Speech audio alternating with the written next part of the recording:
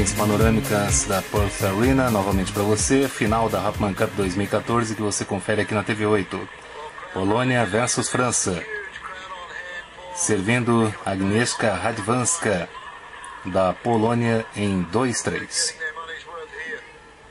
Radwanska venceu o primeiro set por 6-3.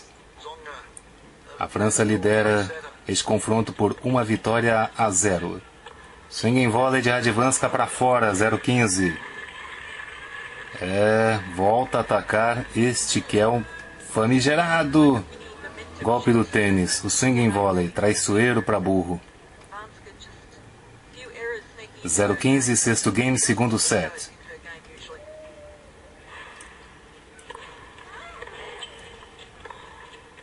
Boa bola de Radvanska de backhand. Agora na paralela, linda bola. Linda bola de Radvanska e reclama Cornet. Talvez facilitando a vida de Radvanska. Talvez isso seja o que ela esteja reclamando consigo mesma. 15 iguais. Está a bela princesa de, de Cracóvia, Agnieszka Radvanska. Será que é por isso que eu estou engasgando tanto na hora de falar algumas frases? É por causa, deve ser por causa das duas, não é possível. Tentou a bola cruzada, Cornet deixou na rede 30 a 15. Anteriormente tivemos confronto entre França e Polônia na partida de simples no masculino. Vitória de Joe Wilfried Songa sobre o canhoto polonês Gregor Panfil 6-3, 3-6 e 6-3 em 1 hora e 40 minutos de partida. 30 a 15. Boa bola de Radvanska, deixada de Radvanska, linda bola. Cornet ainda chegou a defender, mas na volta fechou a rede. Agnieszka Radvanska, Aga Radvanska, de voleio no backhand. 40 a 15, lindo ponto. Começou com essa deixada. Cornet foi obrigado a ir à rede na volta, voleio de backhand, passando a francesa. Game point.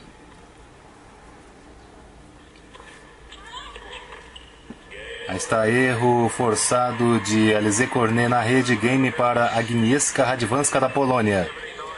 3 a 3, segundo set, 26 minutos de partida neste segundo set e uma hora de partida.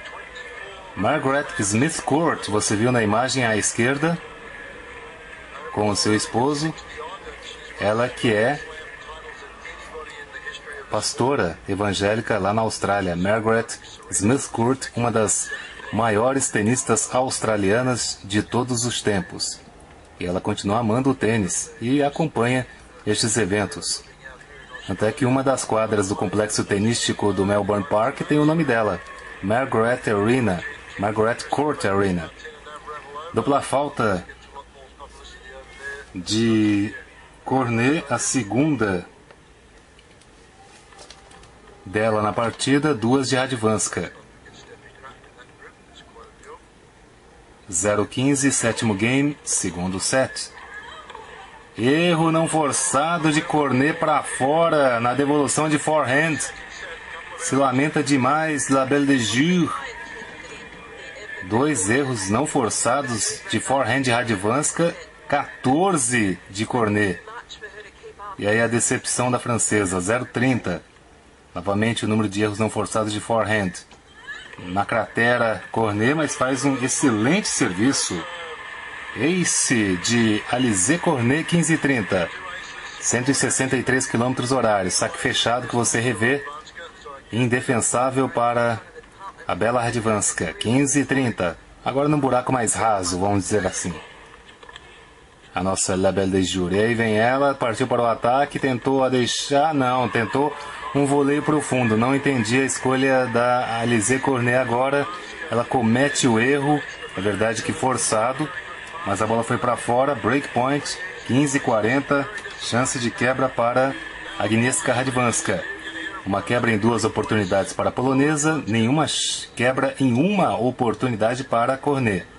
15-40. Se lamenta demais Radvanska o erro na devolução de serviço. Saque angulado de Cornet, erro de Radivanska, 30 a 40.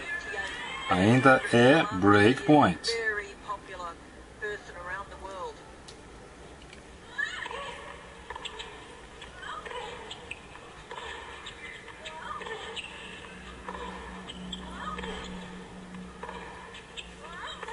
Promessa de mais um longo rally por aqui.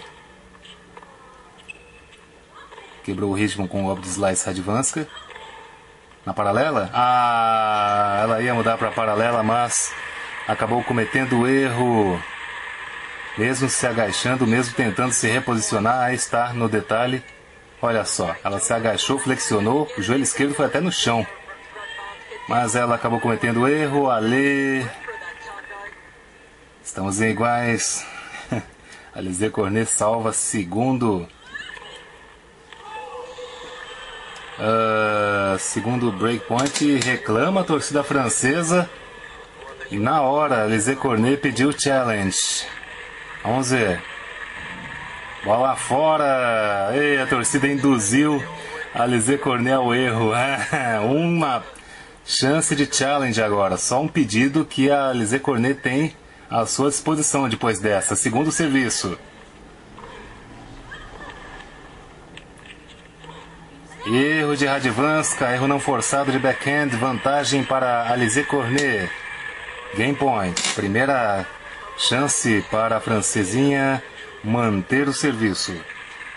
Agora 10h58, horário de Brasília, 20h58 em Perth, Austrália. Segundo serviço, 1 hora e 4 minutos de partida. Portanto, 30 minutos neste segundo set.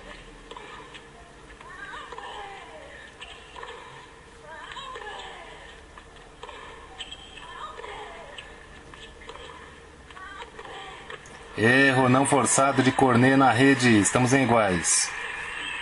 Aliás, num dos intervalos, sorriso de Cornet? Não sei porquê. Ah, se as imagens me deixarem, né?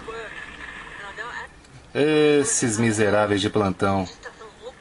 Tentou relaxar ali a Lise Cornet, não acreditou no erro cometido e começou a rir. Estamos em iguais. Ainda bem que a imagem voltou. Esses picaretas. Segundo serviço, será que ela está sentindo o reflexo das câimbras dos, do jogo, dos jogos que ela realizou ontem? Ontem que eu digo, sexta-feira, 3 de janeiro, no confronto contra a Espanha, ela sentiu câimbras durante a partida de simples contra a Anabela Medina Garrigues. E aqui ela comete a dupla falta, aí você revê, e ela sentindo aí um incômodo muscular ali. Dupla falta, aí o Joe Wilfried Songa preocupado. Breakpoint de novo. Terceira dupla falta de Cornet na partida. Bom serviço agora.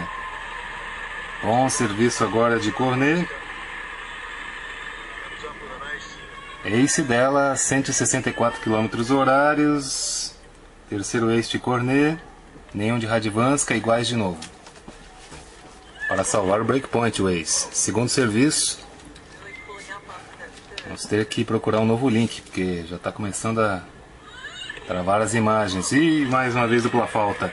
Uma no cravo, outra na ferradura e outra no cravo. Impressionante.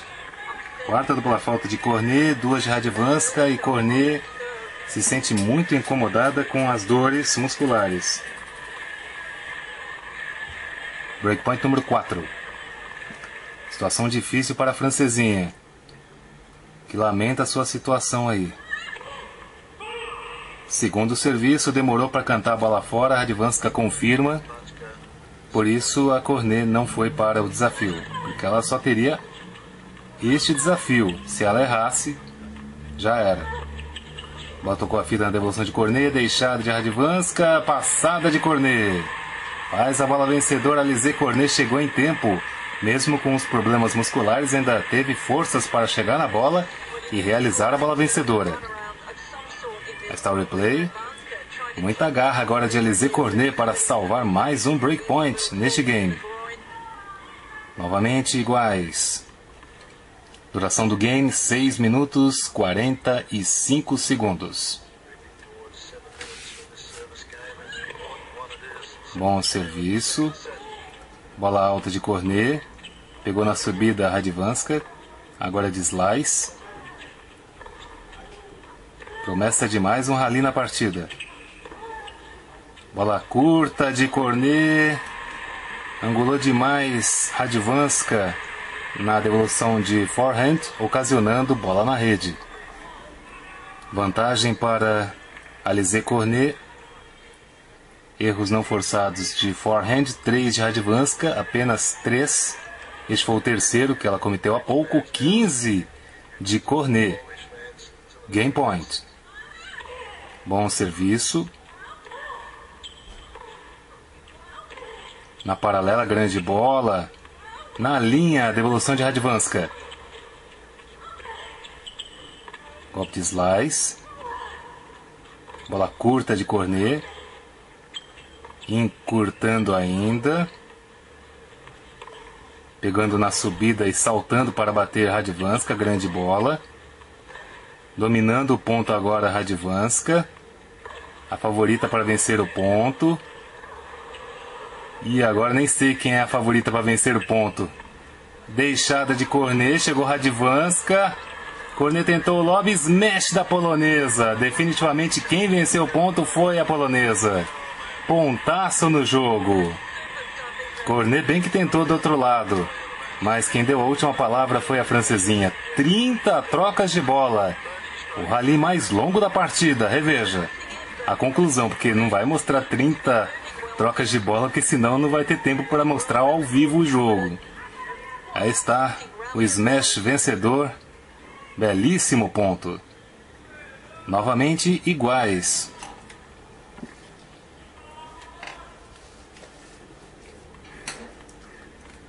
Uma hora após o encerramento desta partida, teremos jogo de duplas mistas.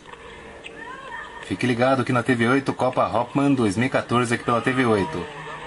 Tentou na paralela Radvanska no golpe de backhand, jogou para fora, saiu por muito pouco. Vantagem para Alizé, La Belle de Jour, Cornet é game point para ela.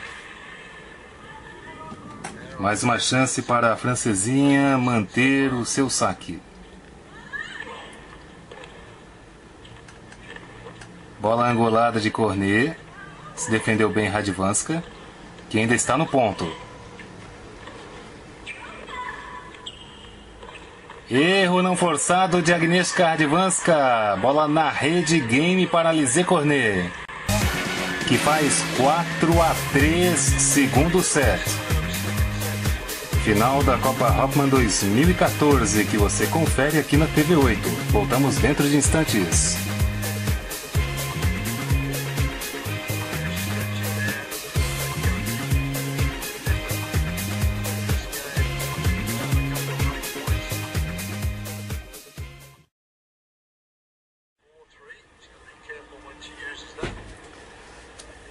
Estamos de volta aqui pela TV8 com a imagem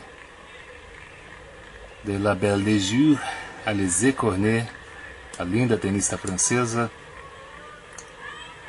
no jogo contra Agnieszka Radwanska da Polônia. Aí novamente a imagem que a gente já tinha mostrado antes de ir para o intervalo, indo para o alongamento, a francesinha que está passando por dificuldades por conta de câimbras. Servindo em 3-4 Agnieszka Radwanska. Bola em cima da linha de Cornet na volta erro forçado de Radwanska. Radwanska na dúvida se ela pede ou não uh, o desafio. Parece que ela não pediu. O placar agora é 0-15, oitavo game, segundo set. Radwanska inclusive consultou o juiz de cadeira James Kotavong que confirmou a bola boa de Cornet.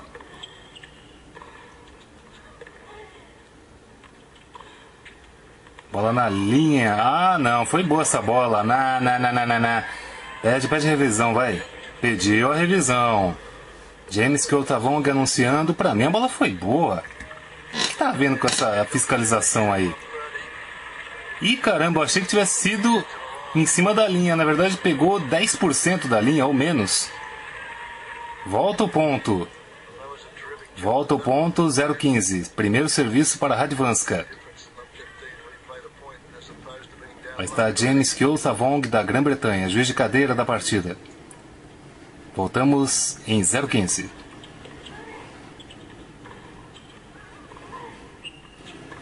Sobe a rede Radvanska e fecha a rede no voleio de revés. Bela bola, 15 iguais. Aí a subida à rede e o voleio no backhand, bela jogada da Princesa de Cracóvia. 15 iguais. Primeiro set vencido pela polonesa 6-3 em 34 minutos de partida. Temos agora 1 hora e 14 de jogo, só no segundo set, 40 minutos.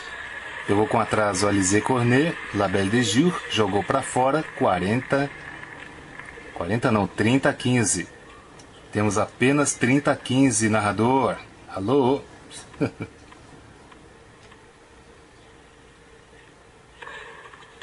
Segundo serviço, bola claramente fora no saque.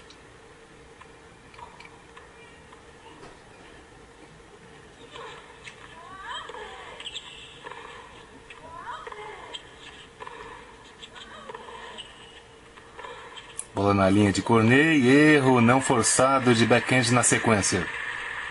40 a 15, game point para Radvanska.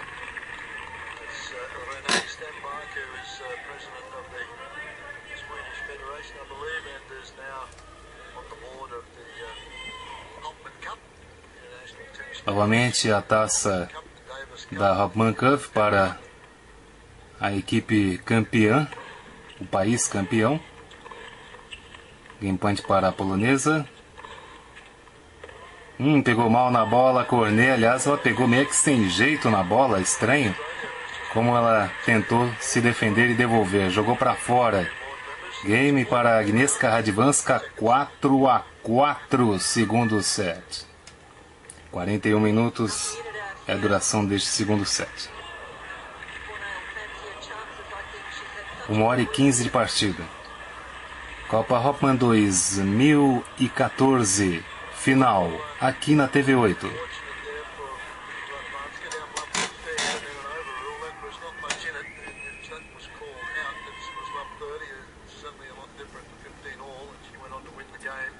Novamente oscilações nas imagens, mil perdões por isso. Problemas a partir de Porto, Austrália. Servindo Alizé Cornet. Bola fora da francesa na segunda bola, 0-15. Nono game, segundo set. Erros não forçados de forehand só vai aumentando da Cornet. 17 contra 4 de Radvanska. Momento importante da partida. Alizé Cornet não pode perder o saque, senão Radvanska irá servir para a partida na sequência. Ela aqui tem um set a favor. Venceu o primeiro set 6-3. Belo. Segundo serviço. Opa, não, não, não, não, não. Sei não se essa bola foi fora, hein? Se a Cornet pedir a revisão.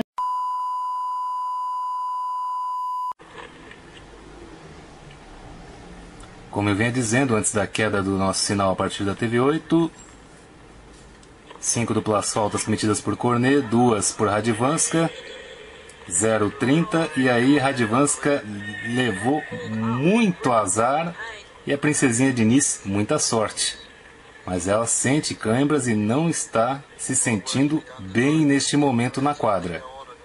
Sente muito, vai precisar de um auxílio médico na volta. Jo Wilfried preocupado. 15 e 30 é a contagem. Erro cometido pela Radvanska naquela devolução que passou muito perto da quadra da francesa anteriormente. Erro de Cornet, erro não forçado de forehand, bola fora 15 e 40. Duplo é, break point, quase duplo set point. É apenas duplo break point, uma quebra em seis oportunidades para Radvanska. Uma chance de quebra para Cornet não concretizada. Bom serviço de Alizé Cornet. Slice de Radvanska.